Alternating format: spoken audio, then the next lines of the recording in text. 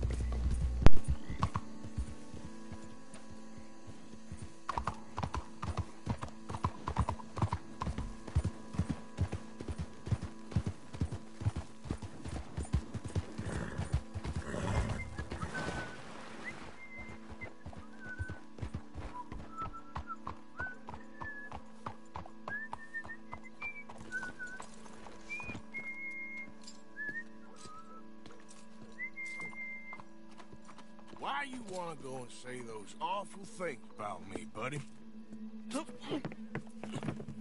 Best not to make a big drama of things. Come on, let's go see your boss. This is gonna hurt, but it's for the best. Ah.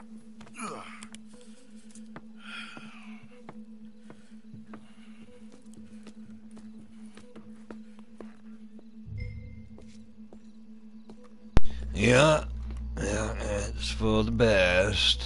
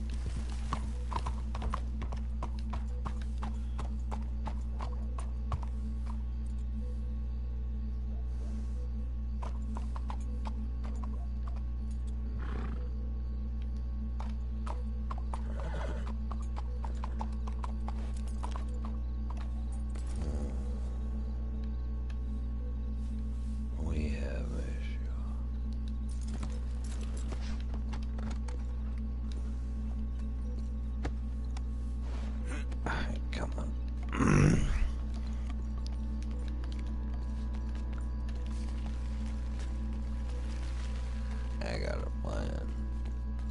I got a plan.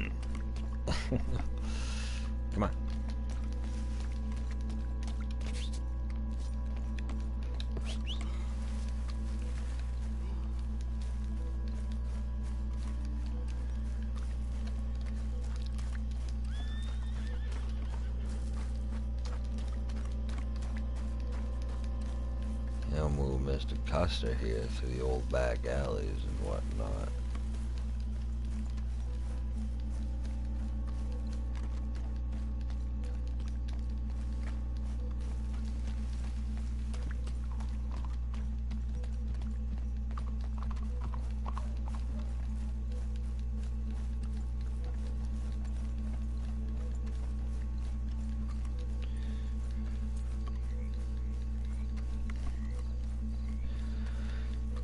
Come on. I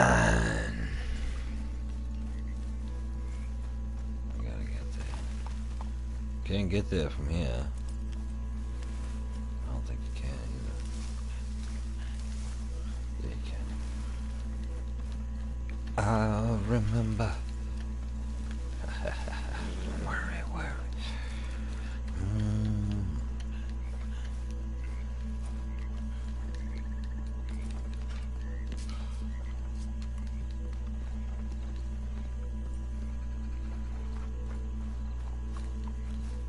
I know some of y'all thinking, why the is he doing this? Well, because it's easier this way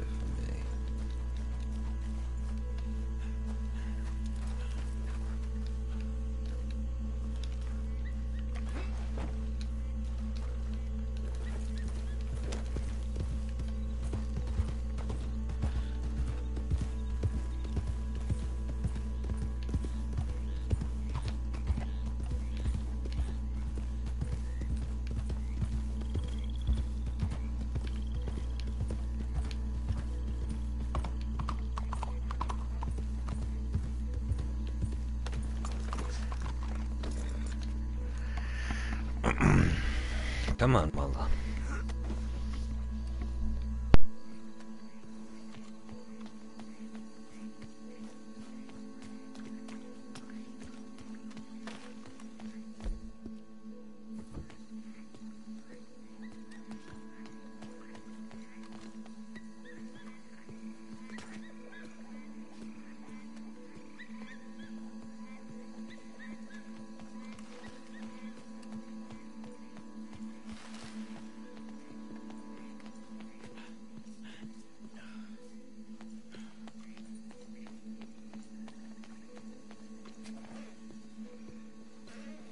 Come on, mother. Quick, Mr. Arthur. Bring him around the back.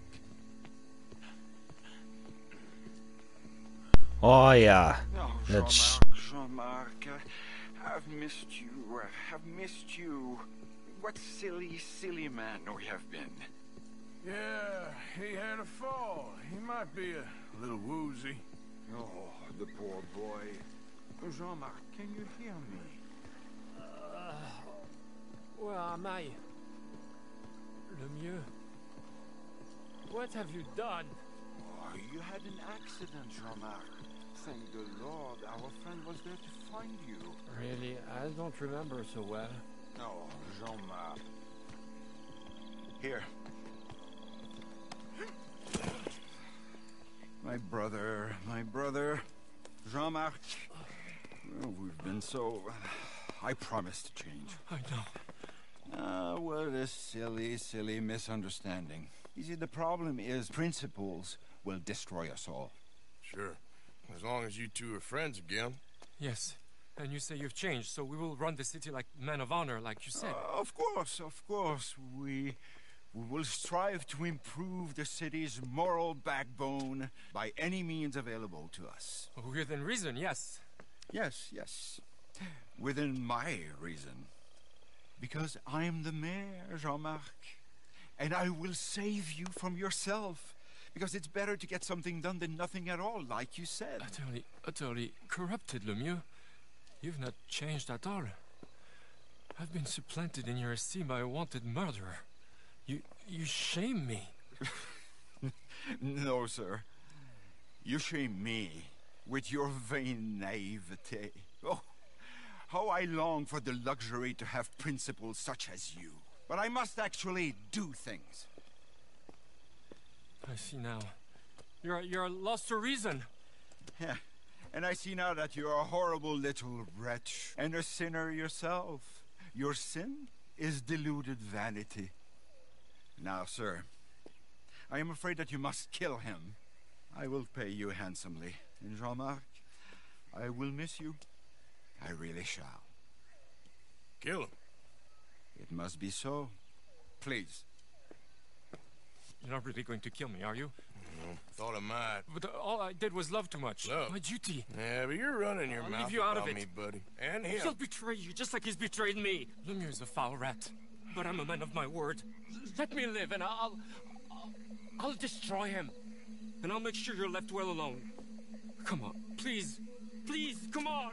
You want to shoot a sad little man.